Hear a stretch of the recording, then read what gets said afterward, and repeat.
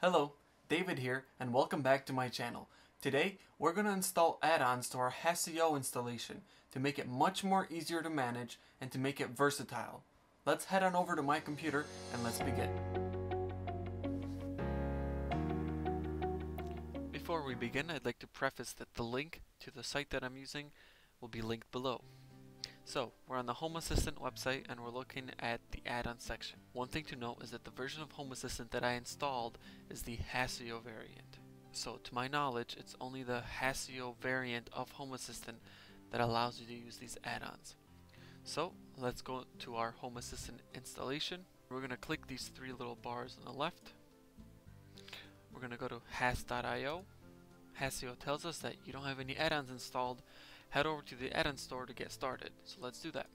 So the first add-on that we're going to install is Samba. The Samba add-on will allow your Raspberry Pi to share the contents of the Home Assistant folder across your network.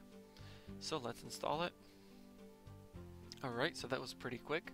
So what I'm going to do is, for my username, I'm going to call it has pi and then I'm going to create a password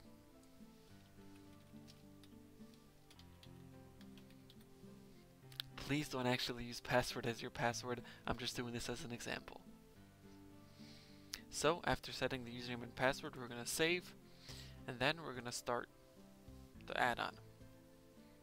So while Samba is starting up, let's go back and install SSH.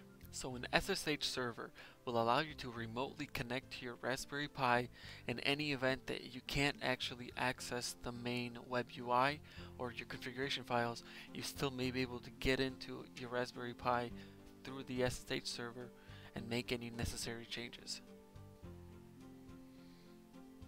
Once the SSH server is installed, let's set a password for it. In my case, I'm going to do password again, save, and then we can start the add-on.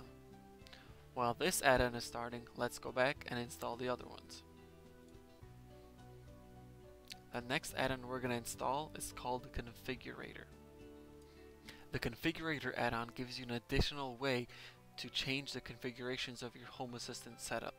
It's not necessary, but I recommend installing it because it will allow you to maintain your configuration files right from your web browser. Once Configurator is installed, let's start it. While this plugin is starting, let's go and install the final plugin. The final plugin we're going to install is called the Mosquitto Broker. The Mosquitto Broker uses a lightweight messaging protocol called MQTT. What this allows us to do is that in the future when we create our own smart devices, these smart devices will be able to communicate with Home Assistant through the MQTT protocol. So now we're back at the dashboard and let's open up our Samba Share add-on. So when we attempt to connect to our device, we're going to use this username and this password. I've already entered these, so I'm not going to be entering them again.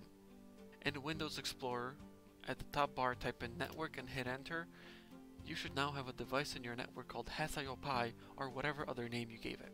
And when you double click on it, you will be prompted to enter the username and password which we had created earlier on. I've already entered that, so I won't be entering it anymore. And here are the five folders that you have access to. The main one we're going to be looking at is the config folder. So opening that up, we see here's all of the configuration files that make up our installation of Hassio. The quickest and easiest way to verify if your SSH server is running is to open up CMD on your computer and then simply type SSH and then the IP address of your Raspberry Pi. It's asking for the password now, which we can enter and proceed. And unfortunately, we can't verify that the Mosquitto broker is running right now, but it's not something that we're going to be using right now.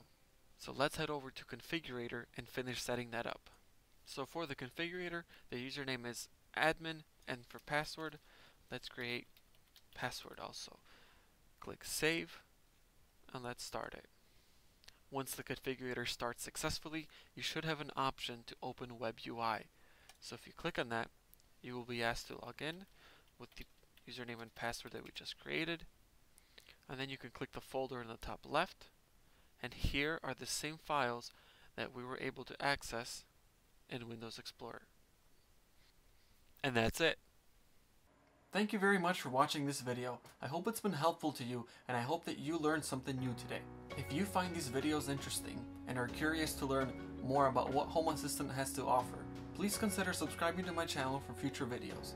And as always, I hope you have a great day.